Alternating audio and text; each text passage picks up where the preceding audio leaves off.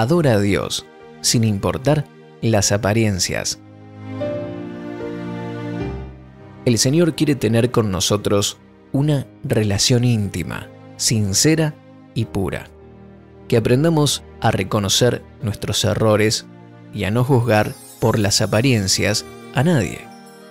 Si adoramos y amamos a Dios con todo el corazón, seremos levantados para ser luz.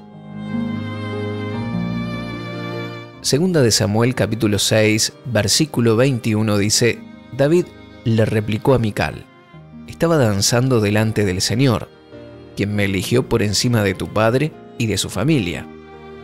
Él me designó como el líder de Israel, el pueblo del Señor, y de este modo celebro delante de él. Mical había sido una de las esposas de David y lo había menospreciado en su corazón cuando éste danzaba con gozo delante del Señor. Parece que ella no pudo comprender la relación que David tenía con Dios. Tampoco valoraba su investidura como rey, ni lo respetó como líder, ya que vemos que David le tuvo que aclarar que el Señor lo había elegido para reinar. El versículo 23 dice que Mical nunca tuvo hijos.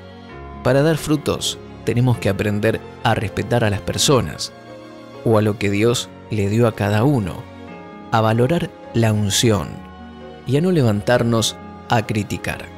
Debemos aprender a recibir lo que otros tienen del Señor, aunque nadie es perfecto y todos podemos equivocarnos, aún así debemos tener sumo cuidado de nunca juzgar, condenar ni criticar a los demás.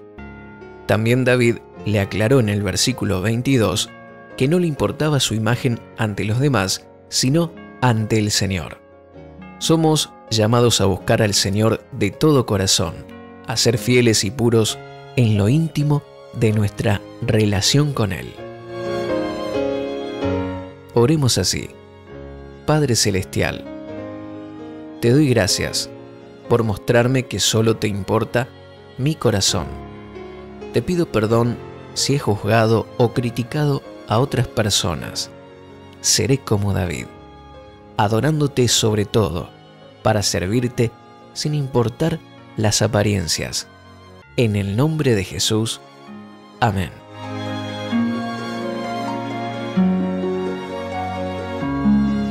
Gracias por compartir este tiempo con nosotros.